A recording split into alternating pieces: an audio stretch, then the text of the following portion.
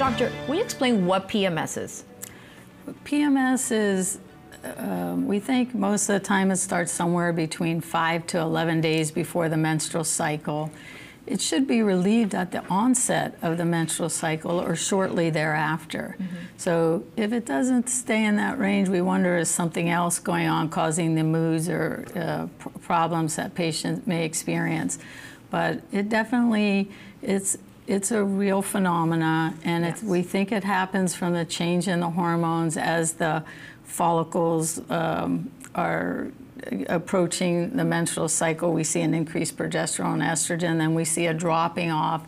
And there's something that triggers changes in the renal system that we call the re, uh, renin-angiotensin, which allow water retention, bloating. Uh, also, maybe we even get some swelling, edema to the brain that can create those issues. And then the serotonin system changes, can affect our sleep, which in turn can affect our moods. Um, and even the serotonin can affect our moods because it's almost like a form of depression or anxiety that happens when those brain chemistry changes.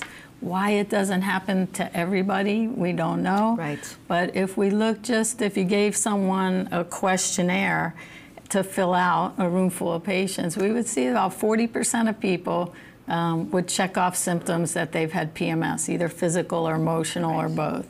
Uh, about 5% of people with PMS have significant PMS what we might even call a premenstrual dys, uh, dysphoric disorder. It's mm-hmm. a form of depression.